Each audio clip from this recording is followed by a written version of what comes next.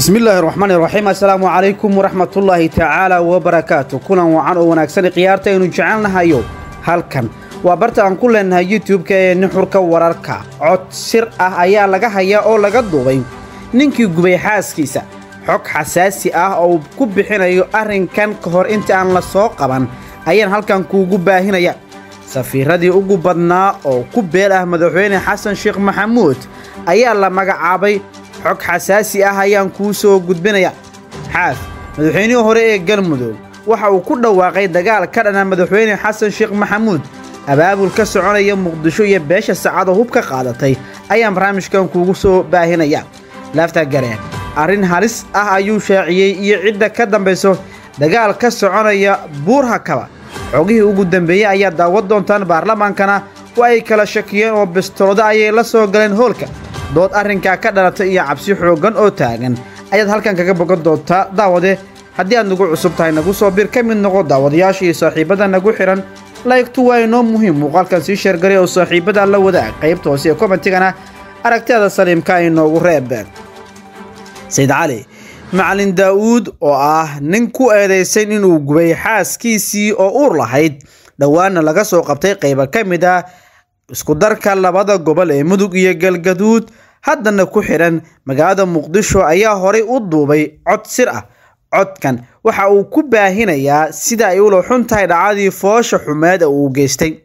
Waxa uu ka qoomamaynayaa dhacdadaas foosha xun waxa uuna dalbanayaa in markaasi lagala shaqeeyo sidii uu isku soo dhiibi lahaa ou gacanta dowladda u soo geli lahaa maadaama gabaad iyo dhuumasho uuna ku sii jiri karin codkan.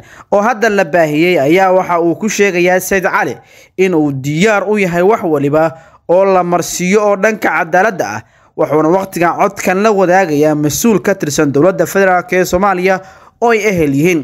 Waxa uu markaa codka ku leeyahay intan ka badan ma sii dhuuma karo waan dhibtooday oo dhulka howdka ah kuma jiri karo. Waxaan diyaar u ahay inaan maro cadaaladda sidaas awgeed waa issoo dhiibayaa ayuu codkiisa ku soo gabagabaynaya haddaba maxaa laga filanayaa laamaha cadaaladda oo hadda arrinkan uu horyaallo xitaa waxaa cirka isku sii shareeraya arrinkan qiimaheeda iyo sidoo kale doodeeda oo qaramada midoobay ayaa durba soo faragelisay oo qudheedu ka hadashay. U-nku waxay soo dhoweynayaan sida ay uga go-an tahay soomaaliya inay baaraan oo ay maxkamadeeyaan xadgudubyada ku salaysan jinsiga ayaa lagu yiri qoraalka laamaha cadaaladda ee dowladda federaalk ee soomaaliya waxaa horyaallo xujooyin dhowr ah oo arrinkan la xiriira islamarkaana muujinayo sida looga gudbi karayo ama looga tilaabayo. Dhanka kalena daawade xaaf madaxweynihii hore ee galmudug ayaa ka hadlay dhulka debdemiska oo hore booliska ay sheegeen in laga kicinayo qoysaska degan oo u badan beesha saacad ee habargedir odayaal ka socda beesha ayaa xaaf ugu tegay gurigiisa waxayna ka codsadeen inuu ka hadlo kiiskan. Isagoo warbaahinta la hadlay ayuu codsi iyo hanjabaad isugu daray dowladda. Xaaf ayaa sheegay in dhul soddon sano la deganaa aysan macquul ahayn in si qorsho la'aan ah dadkii deganaa looga kiciyo isaga oo ku goodiyey in dadkan ay dagaalami doonaan haddii la isku dayo in xoog looga kiciyo dhulkooda. Horta dowladdu waa in ay dadkan dhul iyo dib u dejin u samaysaa ayuu yiri kadibna dhulkaas sidaa lagu banneeyo sidoo kale madaxweyne xaaf ayaa dowladda ku dhaliilay aqoon la'aanta iyo tayaxumida dhanka maamulka isaga oo kula taliyay in dhulka la cabiro kadibna dadka degan loo calaameeyo goobo kale oo markaasi aysan dhaafi karaynin. Dadka dhalinyada ah ee hadda xafiisyada ka shaqeeya waxaaba kama yaqaanaan dowladnimada waxaana muujinaysaa arrimahan ay mar walba ku kadsoomayaan ayuu sii raaciyay xaaf ayaa sheegay in la suurad xumaynayo madaxweynaha iyo mas'uuliyiinta kale ee dowladda isaga oo sheegay inuu faafiyey war sheegaya inay iibsanayaan dhulka isagoo yidhi war waxaasi macquul maahan cay iyo meelka dhac ayay ku tahay madaxda qaranka iyo dowladnimada.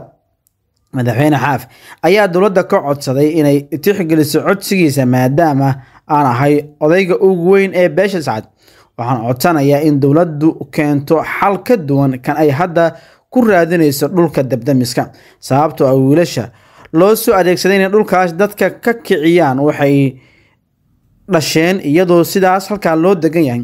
Marka xal ma ahan in mar waliba qoorta la isku geliyo dhalinyaro oo halkaa la isku dilo.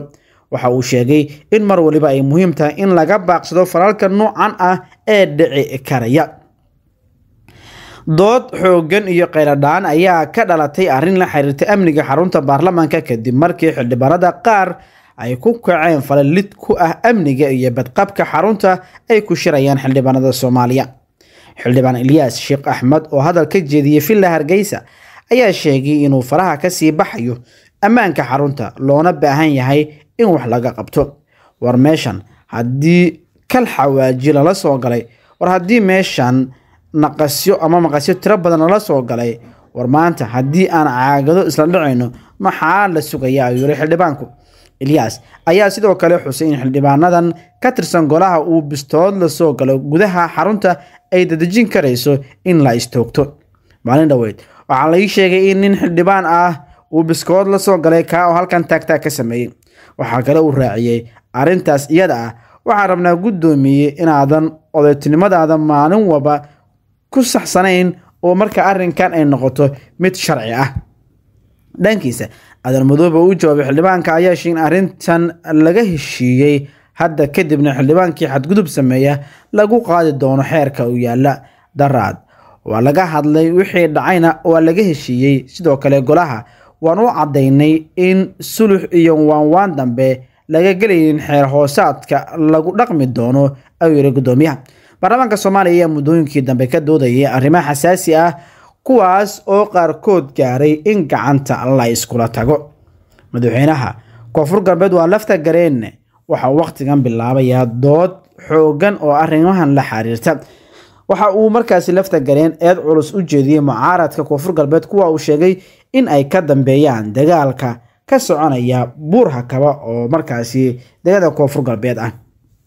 Ugu dambeynna golaha wasiirada ayaa magacaabay ilaa iyo toban safiir oo ka howlgeli doono dalalka caalamka. Safiirada ayaa kale ah cabdicasiis maxamuud maxamed farabadan cabdulaahi maxamed sheekh cabdulaahi cali cabdi awaare cali maxamed abuukar cali wolf bashiir xasan xaaji fadludiin cali maxamed xuseen cabdi xalane qadisho cosoble cali qatra cali ducaale ridwaan xirsi maxamed. Sidoo kale golaha ayaa meelmariyay habraaca dhaqangelinta xakamaynta hubka rasaasta iyo waxyaabaha qarxa taas oo lagu xakameynayo dhibaatooyinka ay sababaan hubka iyo qaraxyada sharci darrada ah ee markaasi wadanka yaalla inta uu socdo shirka waxaa sidoo kale lagu soo bandhigay warbixino la xiriira amniga guud ee dalka tallaabadan ayaa noqonaysa tii ugu horeysay oo ay qaado dowladda madaxweyne xasan maxamuud hal mar isbeddel ku sameysay safiiradii caalamka tan iyo markii dib loo doortay oo xilkaas uu la wareegay. Daawade halkan waa barta aan ku leenahay youtube-ka ee nuxurka wararka. Haddii aad nagu cusub tahay nagu soo biir leegto mar walba muuqaalkan muhiim ayay u tahay. Ee hilmaamin ammaano allah